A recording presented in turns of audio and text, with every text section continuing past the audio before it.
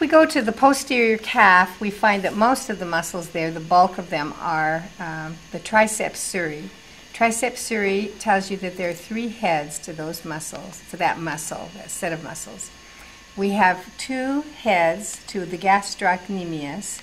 We have a medial head on the medial side of the leg and a lateral head of the gastrocnemius on the lateral side of the leg. So here is the medial gastrocnemius, here's the lateral gastrocnemius. Now if I remove this whole set, if I just remove that from the leg, we will see that deep to those, here the two gastrocnemius are, deep to that we have what is called the soleus muscle. This is the soleus muscle, and we can see the soleus muscle when I remove this. Here's the soleus muscle deep to the medial head of the gastrocnemius. The whole triceps surae, all three of those muscles together, ends in the Achilles tendon right here, in the Achilles tendon.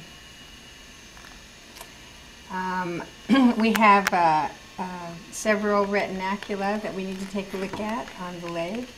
We have the extensor retinaculum here, anterior on, anterior on the leg, and we have the flexor retinaculum back here. Those are connective tissue bands. Now if we go to the anterior lower leg, we will find a muscle that is lying right next to the tibia. That is called the tibialis anterior muscle right here. If there's an anterior, there must be a posterior, and indeed there is. Right in this area, you can see the tibialis posterior. Right there is tibialis posterior. We have several peroneus muscles. We have peroneus longus and peroneus brevis. Peroneus means fibula, so we look on it on the side where the fibula bone is, which would be lateral. So I'm looking on the lateral side of the leg, lower leg here.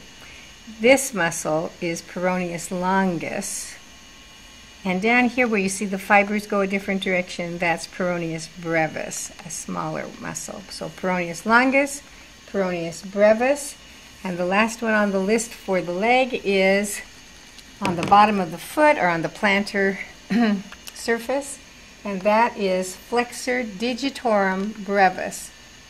When we're talking about the toes, if they flex, they're going to go like that. So here we have the muscle, flexor digitorum, digits or toes, brevis, right there.